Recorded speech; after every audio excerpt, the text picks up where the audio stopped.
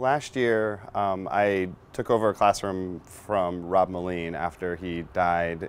The whole school and the classroom, we were having a hard time just dealing with his loss. And I saw this video online of a girl who did basically this same project at her school and showed it to my kids. And Rob loved space, he loved science, he just loved everything that this kind of project entailed. And everything kind of snowballed.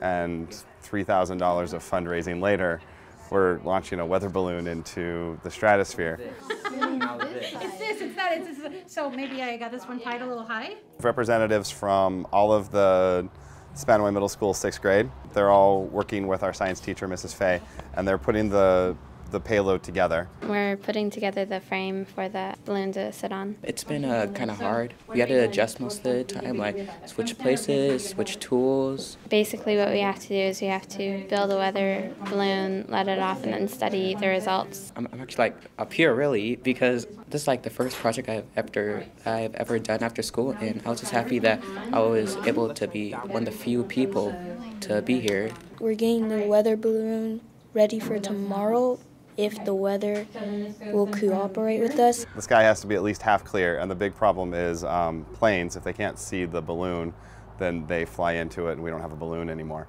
So weather's a huge deal, and then of course with the two GoPros on it, we don't get any decent footage of our flight if we have cloud cover.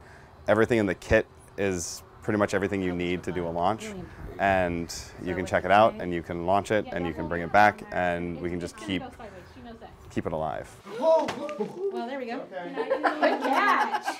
I expect it to go up into the outer layer of the atmosphere and then pop and then come back down. The parachute will bring it safely down wherever it happens to land. I know, probably land in a tree or something like that. But we have our GPS tracker that'll transmit its location. We'll go out, retrieve it, and bring it back. I was kind of like nervous and scared. I thought it was gonna like pop and we would have to start all over. There's a bee. There's a bee right there. Uh-oh. Ah! Wrap electrical tape around the clamp that is holding the U shut for redundancy. Congratulations, your balloon is now ready to fly. I'm holding on to a fully inflated balloon.